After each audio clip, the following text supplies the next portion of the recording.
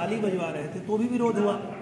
और मोदी जी ने फिर वैक्सीन बना दिया तो भी विरोध हुआ कि ये ताली थाली बजा रहे हैं, दुनिया जो है वैक्सीन बना रही है। तो वैक्सीन बनाए तो मुझे लगता है कि विपक्ष का काम ही है कि वो और अपने भारत में पहली बार ऐसा होने जा रहा है, दो परेड हो रही हैं। एक परेड की तरफ़ वो हैं, जिनकी बात आप इस पिक्चर में कर रहे हैं, और दूसरी वो राजनीति, दोनों चीज़ें इसमें हैं। तो उसको किस लिहाज से देखते हैं कल के विशेष अवसर पर?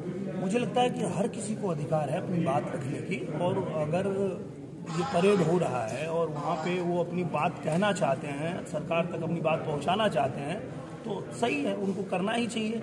और हमें उन पर भी भरोसा है सरकार पे भी भरोसा है कि जो भी अ, उनको दिक्कतें हैं उसको वो सुलझाएँगे निश्चित रूप से सुलझाएँगे। निरवा जी पूर्व में जो रिलीज़ हुई भारत जी। उसमें सलमान ने बड़ा अच्छा काम किया। फिर उसके बाद ये अब कल आपकी ये पाँच बजे अभी आज रिलीज़ हो रही है। कल? अ, कल। तो आपकी कैटरीना कहाँ है? आ, उस भारत में वो भारत जो थी ढाई घंटे की मूवी थी एक छोटी सी मूवी है। सिर्फ़ एक छोटा सा मैसेज देने के लिए मूवी बनी है। तो इसमें सिर्फ़ मैं ही हूँ एक ही किरदार है।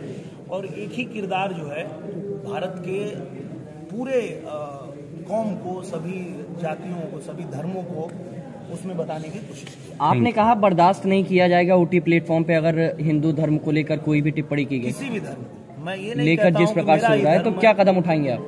मुझे लगता कदम यही होगा कि विरोध हो जैसे चलता है बैन होता है बैन होगा क्योंकि देखिए आप अपने धर्म की जय जयकार करिए हमको कोई प्रॉब्लम नहीं है। तांडव देखिए क्या कहेंगे किसी तांडव अभी देखा नहीं है पर देखूँगा तो मैं जो, जो चर्चाएँ आई हैं। विरोध हो रहा है तो ज़रूर कुछ गलत हुआ होगा तभी विरोध हो रहा है नहीं तो विरोध नहीं होता। और मुझे मैंने पहले ही कह दिया कि हम सभी धर्मों का आदर करेंगे। ऐसा नहीं है हर किसी के धर्म में अच्छा ही। है सबका आदर कीजिए पर आप हमारे धर्म की बुराई मत कीजिए। और Thank you. सवाल कि आने वाले समय में क्या फिर राजनीति में आप पहुँचेंगे और चुनाव लड़ना चाहेंगे? वो तो हमारी पार्टी तय करती है वो काम हमारा नहीं है। हम एक कार्यकर्ता हैं पार्टी जो ज़िम्मेदारी देती है उसे हम निभाते हैं। अगर पार्टी हमें कहती है कि आप प्रचार करो प्रचार करते हैं चुनाव लड़ो तो चुनाव लड़ते हैं। कहेंगे पोस्टर चिपकाओ तो वो भी करेंगे। वो हमारा काम। नीरवा जी उत्तर प्रदेश सरकार जो है मिशन शक्ति के तहत आज जो है आज बालिका दिवस के अवसर पे अ, बालिकाओं को विशेष करके किसी को डीएम एसडीएम बनाया है। जी। इस पर आप क्या कहेंगे? बहुत सराहनीय कदम है और मुझे लगता है कि इस देश में महिलाओं के लिए सशक्तिकरण का जो दिख रहा है विचार दिख रहा है और जिस तरह से किया जा रहा है ये बहुत ही सराहनीय पूरी दुनिया इसकी सराहना कर रही है। ये बहुत ही अच्छी बात है। अक्षरा जी आज क्या कहेंगे भारत की लॉन्चिंग पे? मैं दिनेश जी को ढेरों शुभकामनाएँ देना चाहती हूँ और सभी दर्शकों को रिक्वेस्ट करना चाहती हूँ कि आप लोग ज़रूर इस फ़िल्म को देखें छोटी सी फ़िल्म और ज़रूर सराहें। और दिनेश जी हैं और इन्होंने एक कॉन्सेप्ट लाया है तो अमेजिंग होगा ही होगा ये श्योर शॉट गारंटी है।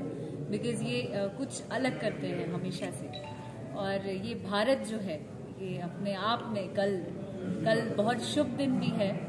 और मेरे ख्याल से एक अलग मैसेज हम सभी युवाओं के लिए रहेगा इस फ़िल्म में। शिवगढ़ में आई है शिवगढ़ के लिए कुछ कहेंगे? जी? शिवगढ़ पैलेस के बारे में कुछ कहना चाहेंगे? शिवगढ़ पैलेस में आके मैं तो पहली बार आ रही हूँ। मुझे बहुत अच्छा लग रहा है और यहाँ शूट करके भी बहुत अच्छा लग रहा है। इन्वायरमेंट भी बहुत अमेजिंग है। राजा साहब कुछ कहना चाहेंगे आप?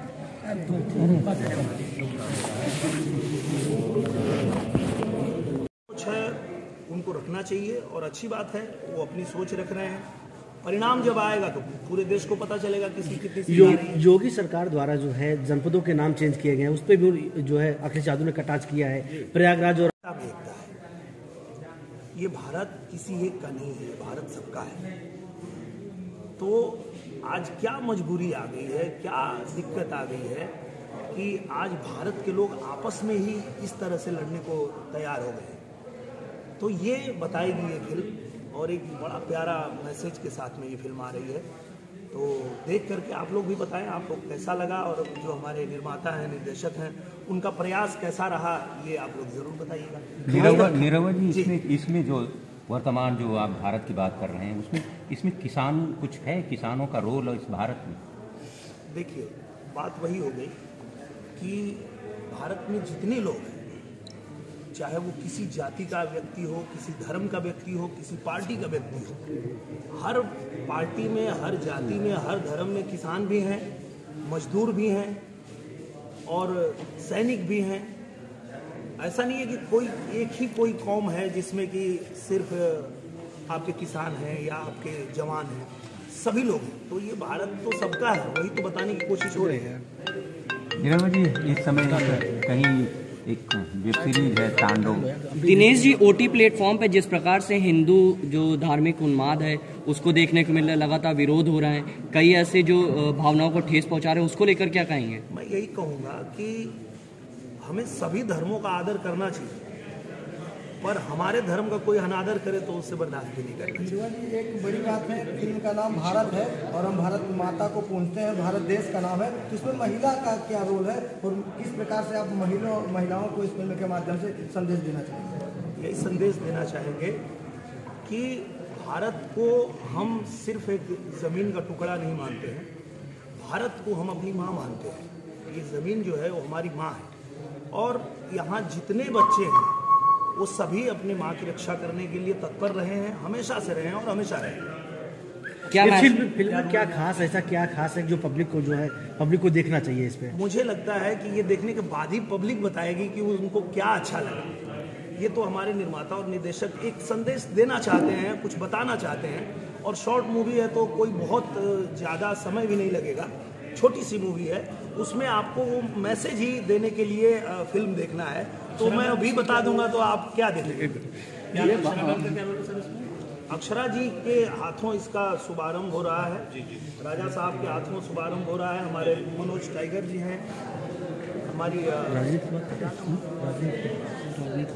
जोया। जोया हैं। तो ये लोग जो है इस फ़िल्म के अनाउंसमेंट के लिए यहाँ पे उपस्थित अगर राजनीति की बात कीजिए आप राजनीति से भी जुड़े हुए हैं। जी। तो बात की जाए तभी अखिलेश यादव ने कल जो है राष्ट्रीय अध्यक्ष ने बयान दिया कि साढ़े तीन सौ से अधिक सीटें हमारी अब आने वाली हैं 2022 में। तो उसको लेकर क्या कहेंगे आप? मुझे लगता है कि हर व्यक्ति को अपनी राय रखने के लिए आज़ादी है।